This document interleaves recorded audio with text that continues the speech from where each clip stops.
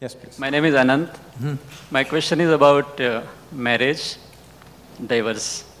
I am married. No, no, they're two different things, huh? Marriage. what I see today is uh, many youngsters, like many of them, they don't want to marry. And few of them who marry, there are occasions where they are getting divorced.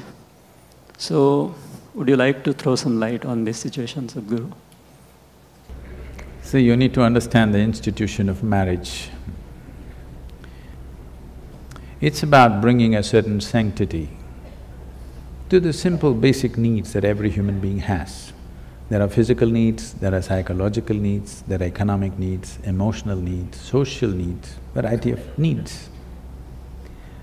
To fulfill all these things, we set up an institution called marriage where all this can be conducted in a sensible manner.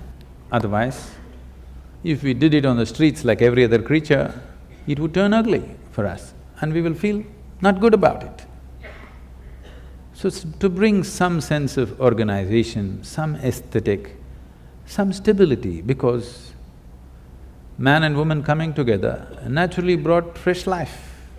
It is, compared to any other creature, it is the most helpless life which needs maximum amount of support. You could leave a puppy on the street, as long as he gets food, he grows up into a good dog, no problem. But not so with the human being, he doesn't need just physical support, he needs variety of support and stable, above all, a stable situation. Whether there should be marriage in society or not,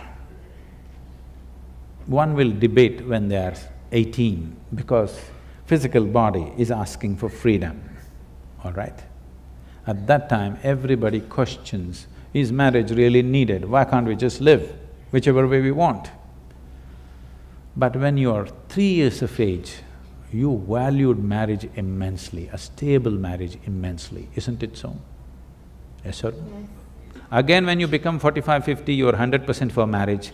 Between eighteen and thirty-five, you're questioning the whole process, okay? because where the physical body is dominant, at that time, if you give in to that, then it will question every institution. This is hormone-fired freedom, okay? Your intelligence has been hijacked by hormones. So, you question the fundamentals of everything. I am not saying marriage is the thing, but do you have a better alternative? If you have a better alternative, damn the marriage. But you have not come up with a better alternative because a stable situation is a must. For a child, once you have a child, it's a twenty-year project. Your whims and fancies will change, your emotions will change. If that is what it is, don't get into such situations. It's not compulsory for everybody to get married. It's good, young people, you're saying people are thinking whether to get married or I'm glad. It is not necessary for everybody. But if you get into it and if you… especially if you get into children, you must understand it's a minimum twenty-year project, whether you like it or you don't like it. Otherwise, you shouldn't get into those projects. You don't walk into a project, drop it halfway and walk away, isn't it? It's your choice, but at least choose consciously. You don't have to get married because everybody is getting married. You don't have to talk about marriage and divorce in same breath as if they come together.